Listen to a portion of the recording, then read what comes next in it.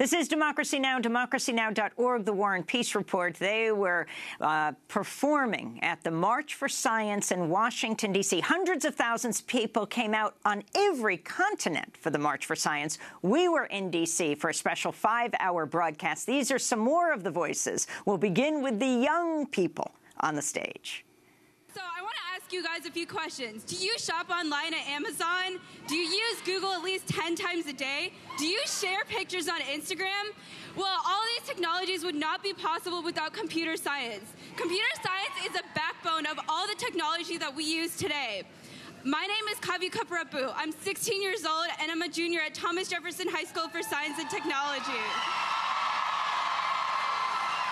And I'm here today for the future of computer science.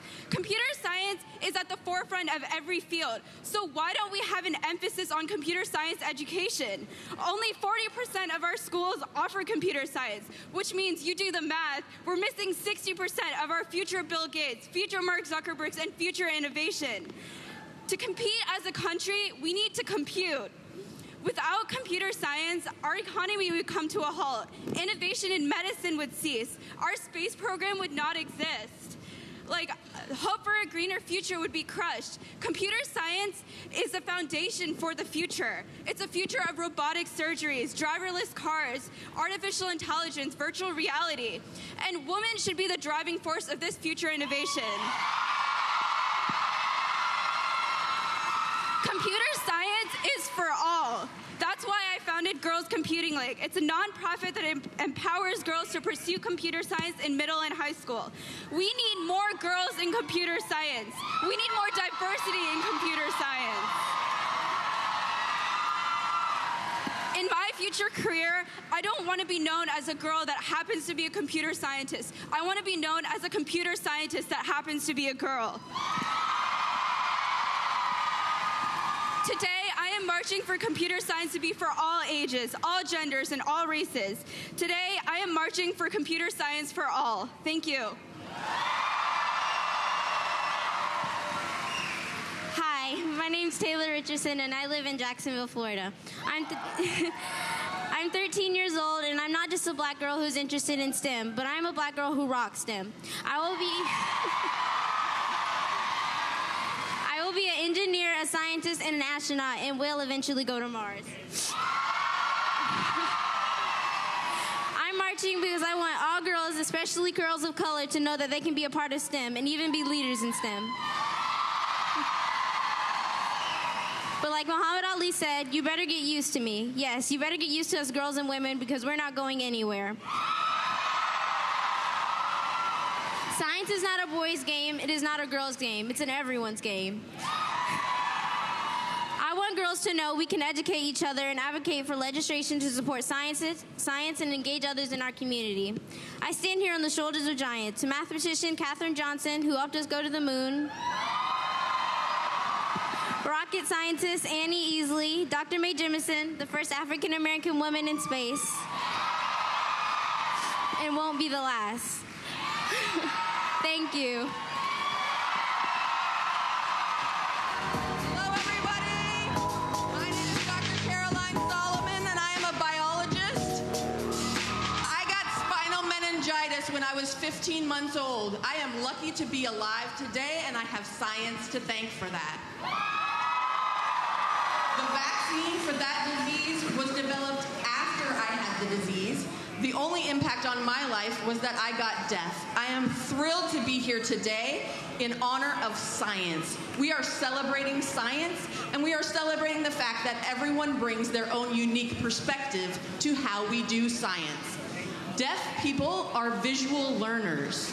There are studies being done right now by deaf scientists on bird songs they're not listening to the songs. They're looking at visual readouts on computer screens and studying the songs through visual technology.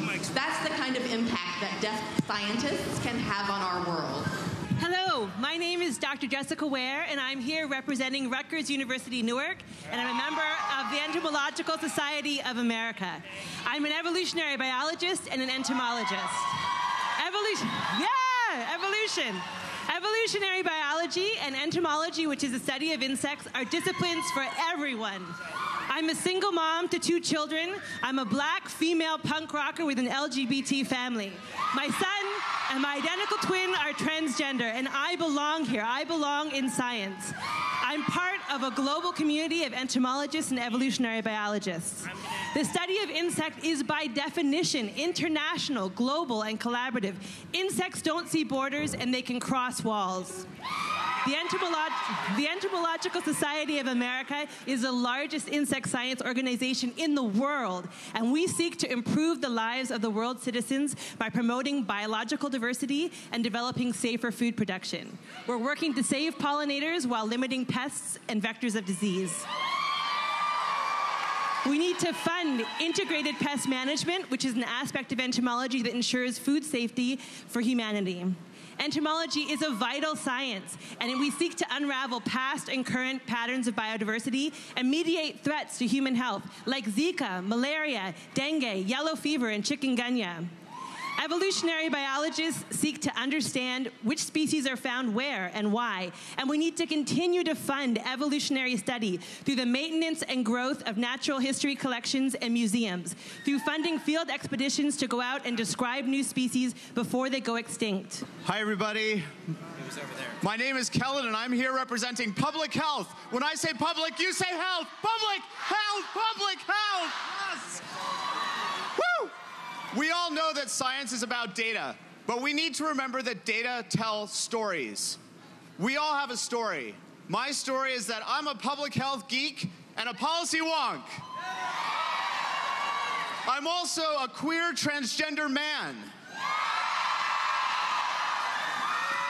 And science makes, helps make sure my community and I are counted, and we count in decisions that affect our lives.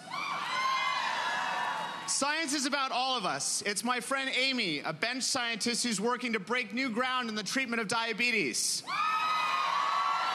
Science is my mother, a citizen scientist who contributes the data from her backyard bird feeder, Cornell Lab of Ornithology. And science is my fellow PhD students at the Johns Hopkins School of Public Health. Who do research to inform policy decisions like the Affordable Care Act to ensure we all have the right to good health. But it's not enough to collect data. We need to share it. Advocacy is not a dirty word.